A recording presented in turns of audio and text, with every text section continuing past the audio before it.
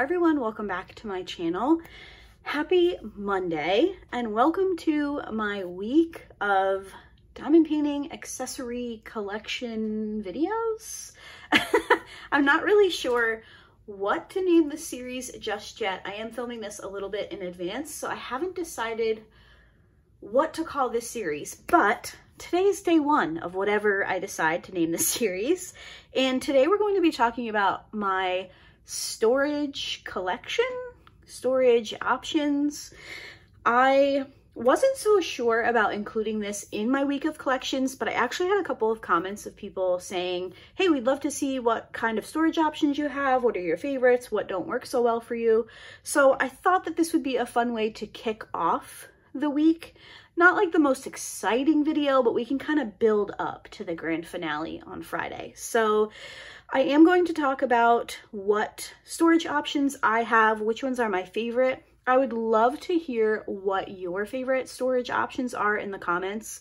I'm someone who loves to buy little containers to store things in.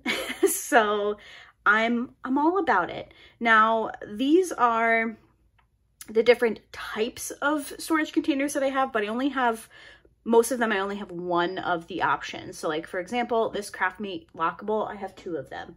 These setups here with the stamp tier storage, I have two of these.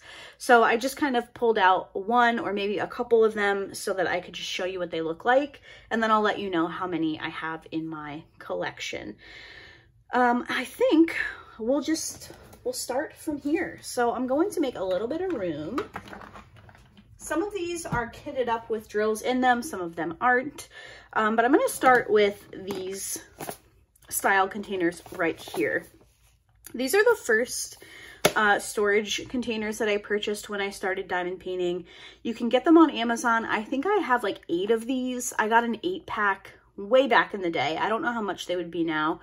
But I remember getting an eight pack for like $15 or something like that. And these are still really great for small kits. You can see I have a project kitted up in here. I worked on flowery silks from Crafties. I used two of these and wherever you don't see a sticker is just a continuation of a color. So like these three are all 8.19. That's how I use these. Um, they're really great, especially if you work on a lot of budget kits. They tend to just be smaller. Um, but even like a Diamond Art Club snack size or somebody else, these work really well. I like them. So you just have four little containers that are stuck together and then you just pop the top open and pour your drills out and they work just fine. So I will do my best to find as many links um, to things as I can. I don't know if I'll be able to find the exact listing for the ones that I have, but I will find this style and link them in the description box. So shortly after I started using those, I started using these containers from Harbor Freight. I purchased four, so I do have four sets of these. Um, and these are great if you're working on a project that has a lot of a color. So these containers here hold one of the giant bags from Diamond Art Club, just for some sort of reference.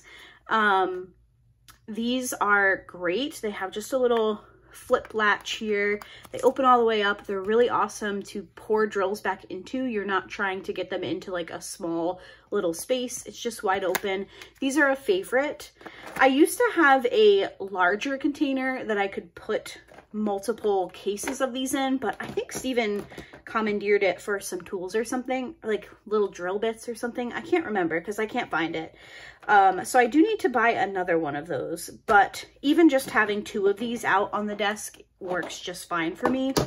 You get 24 containers in one pack plus the um, large one to hold them all.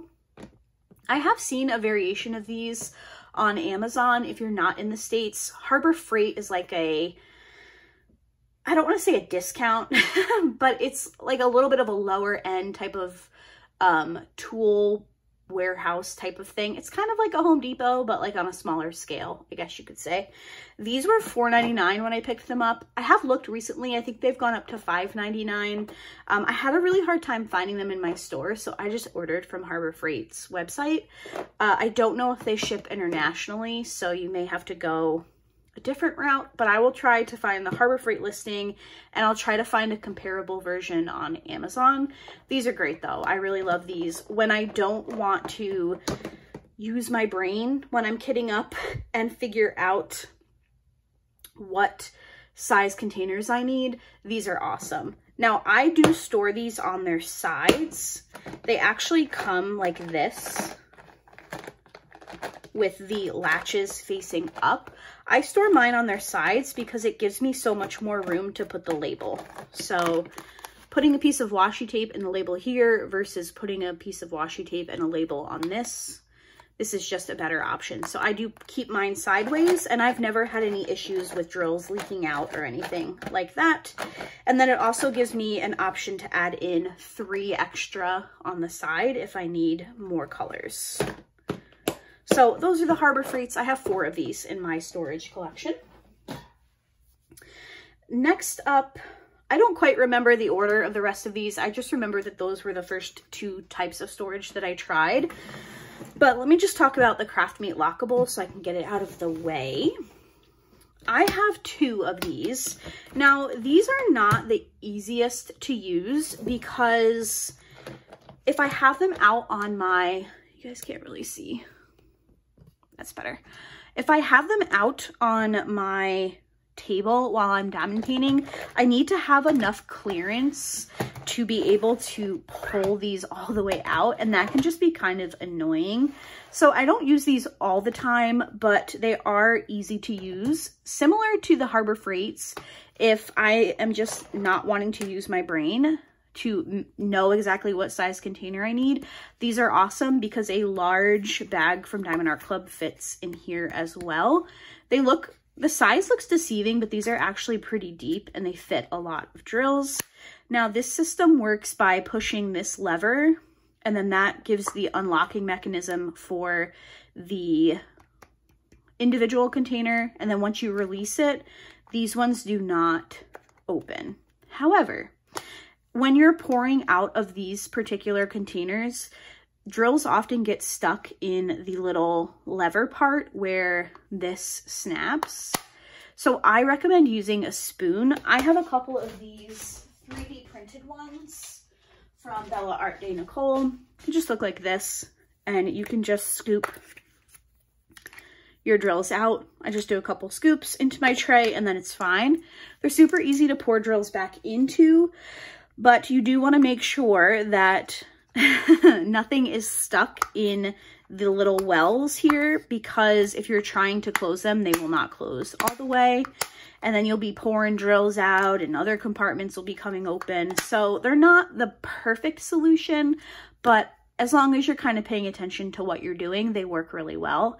And I do really enjoy using them, uh, mostly because a lot of drills fit in them. These have 8, 10, 12, 14, 16, 18, 20, 2, 24, 26, 28, 32, 34, 36, 38, 40, 42, 44, 46, 48, 52, 54, 56 compartments. So a lot of kits would fit in here. Okay. Did I say I have two of those? I have two of those in my storage collection. Next up, we have these containers from Michaels.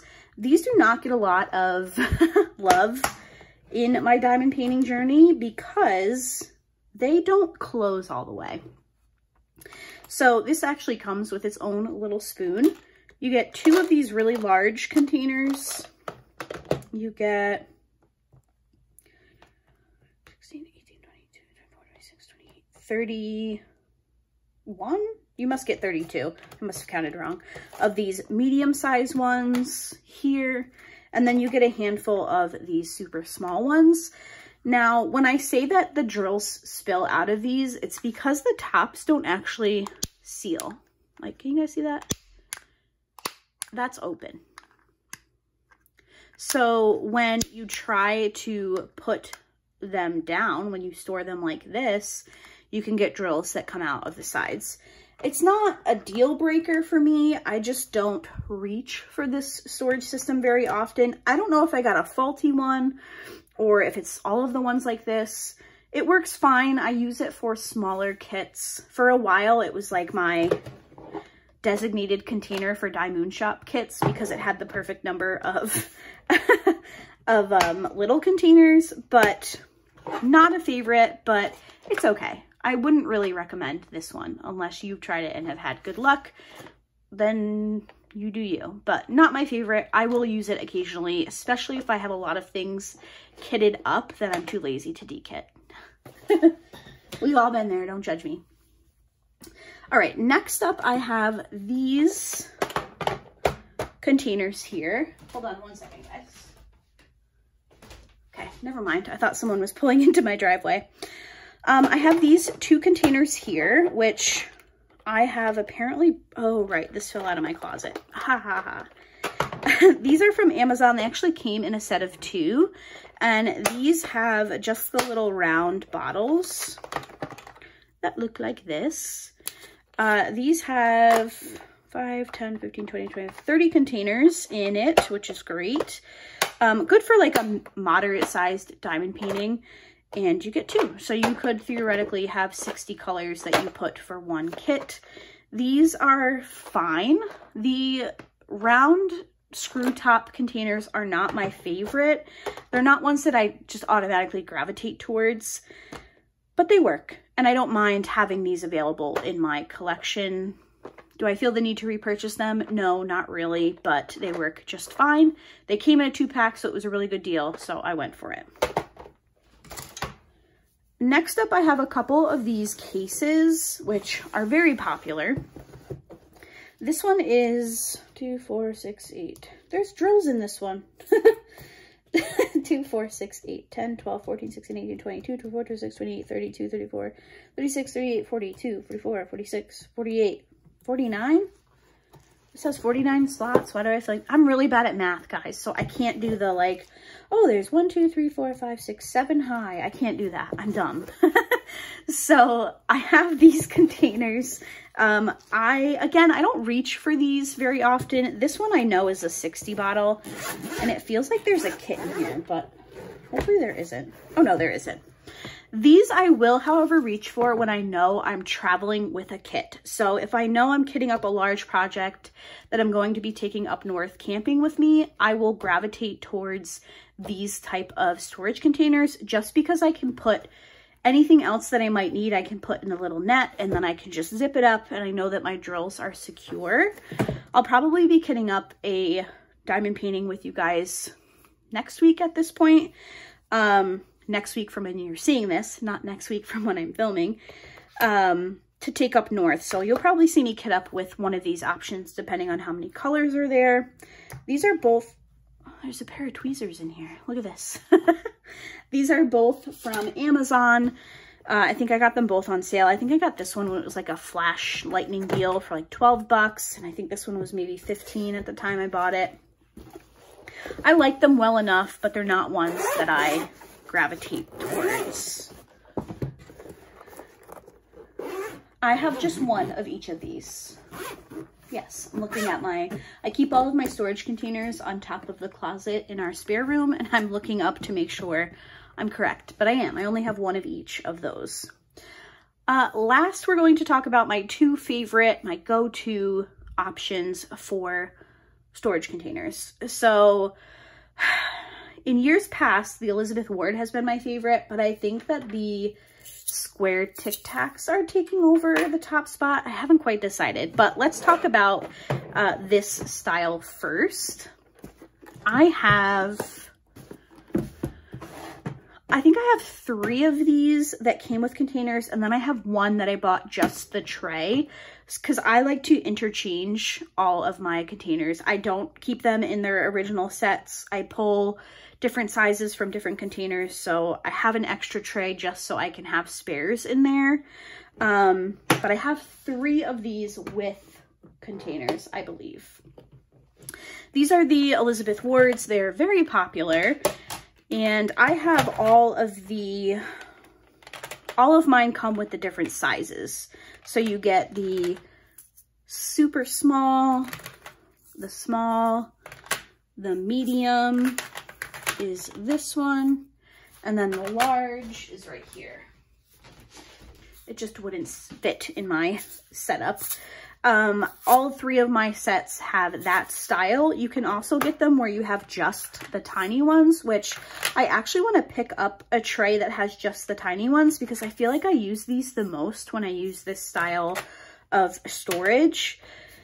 The Elizabeth Wards are extremely overpriced. Um, there are a lot of knockoffs. You can get them from AliExpress. I've never shopped on Temu, but I would assume you can probably find them on Temu. Um, Joann's, I think, has their own version, but they're kind of expensive. Mine are all Elizabeth Ward brand, but I bought them way back when I started diamond painting before they were going out of business and then they weren't going out of business and then they were going out of business again. And now they're just really expensive on Amazon. So if I decide to repurchase this type of storage, I would probably just go the knockoff way because they look exactly the same. I think the only thing that I've noticed on the knockoffs is that this handle is different. I actually broke one of my handles off on this side. Um, but the handle, like the clip-on handle is different and that's it. So that's fine by me, but these just clip like this. And if this side wasn't broken, just pretend I'm clipping it. Uh, these are great. They hold a lot of drills. I like that you can customize what size containers you're working with. However, if you're not paying attention or if you're not like savvy enough with knowing how many drills will fit in each one, uh, you can run out of room and all of your colors won't fit, which is the problem I ran into with this project. I have two of the really large um, sizes that just wouldn't fit anywhere. So I just have these sitting next to my project. But if you're not paying attention, you can kind of run into some issues and you don't necessarily want multiple of these trays sitting on your diamond painting space because they do take up quite a bit of room. These are also a really good option if you're traveling since they do have the lid. I find these to be really secure to travel with. Uh, I will say the longer that I've used them, I'm just good at judging what drill packets will fit in which container. Um, obviously the super small ones fit the really small Diamond Art Club baggies. You'd be surprised, you really would be surprised how many drills you can fit into these containers. So they are a favorite. I think they're a favorite of a lot of people's. They're pretty popular, but sometimes I just don't want to think when I'm kitting up. I just want to kit up and enjoy the process. And when I do that, I normally go for either the Craftmate Lockables, like I mentioned before, or the Harbor Freights. But this has become my ultimate favorite way to kit up. These are the square Tic Tac style containers. So by that, I mean they have like the flip top lid like a Tic Tac does. You have no idea how hard it is to say tic tac and not TikTok. but I've never tried the really skinny tic tac style containers. I've only used these ones and I only started using these ones within the last year because Brie from Painting with P Painting with Pitties, she, like the early stages of her channel, she had shared that she used these with an acrylic style base. So something similar to this stair system, but it was acrylic that she got from Amazon, which is great. Acrylic can just be hard to store for me personally because I don't have a ton of storage space and I need to kind of be able to stack things. And I just didn't think the acrylic would work for me. So on Instagram, I had seen someone who used this stamp tiered storage from Joann's. I think it was Crafty Kit Kat. I'll have to see if I can go back and find the post. Um, but I think I actually have a setup video on this. I'm pretty sure I tagged the creator. So I will uh, try my best to leave that information in the description. I'll also link these products. So these containers come from Amazon. They come in a case similar to this. It's just longer and shorter just by a little bit. I think you get 30 in there.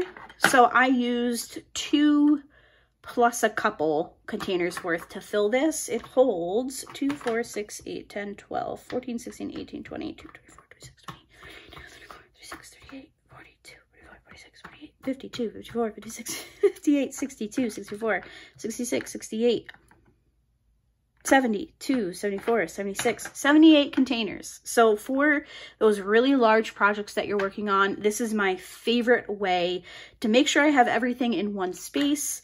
If I'm traveling, I actually keep the, let me grab them. I kept the little plastic containers that these came in and I can just put in however many I need and then I can have a little extra space to put anything else that I want to take with me.